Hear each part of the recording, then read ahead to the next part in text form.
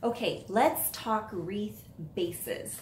You guys know the standard wire wreath base for when you're making like a bubble wreath. There's also the straw wreath. I've used these a lot. And the not so common, the duct tape pool noodle. I did this as a base when I made my um, grad wreath for my boys and it got tons of great um, reviews, one of my most popular posts. And then a lot of gals are using these embroidery hoops, they're undoing them, and then they've got a nice wood base for a wreath. But there are limitations to all of these bases. Some of them are not big enough or um, they're expensive. And if you like to DIY, and make your own wreaths to save a lot of money, I'm gonna share a tip with you today.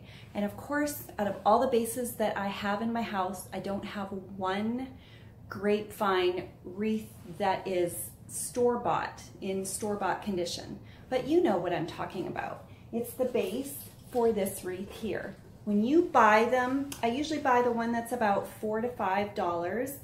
It has a very thick piece of grapevine that wraps around the wreath and essentially holds it all together.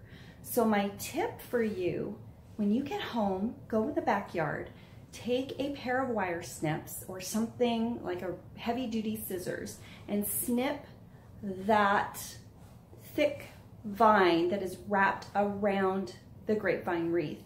What you can then do is you can open it up and you can use it as a garland or what I do is I take it apart and I make three to four smaller wreaths out of that one store-bought $5 wreath form.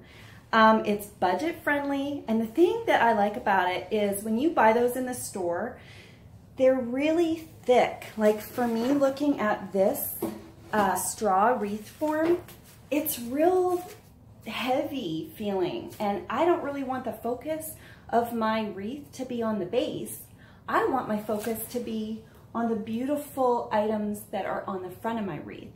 So I'm gonna take you around my house and show you some different wreaths that I've made with one grapevine wreath base. This is the first one, and you can see, I'm gonna hold up, this is I think a 12 inch form.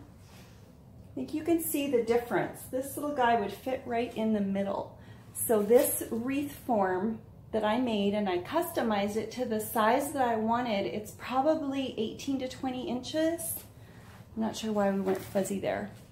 Okay, so I'm going to, okay, if you followed my blog for any length of time, you've no doubt seen my little $10 farmhouse wreath made with ribbon I found at Walmart. This is a wreath that is built on one of those wire bases like I showed you. All right.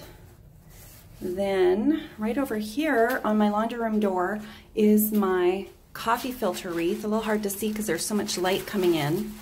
This one is hot glued onto a straw base.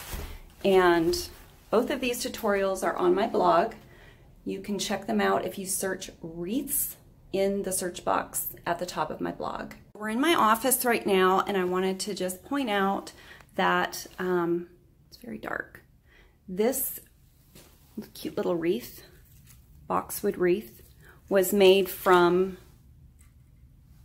part of that garland, the grapevine garland that I took apart. And the other wreath that you'll see in this tutorial is now hanging on my mantle and I don't really want to show you that one because I don't want to give it away. But let me see if I can hold this up. You can see that I've got an entire wreath base left. This one I haven't done anything with. I haven't wired it. So that's four wreaths from one $5 store-bought wreath. You can see how the value for your money goes a very long way. I hope you find this tip useful. Let me know if you do.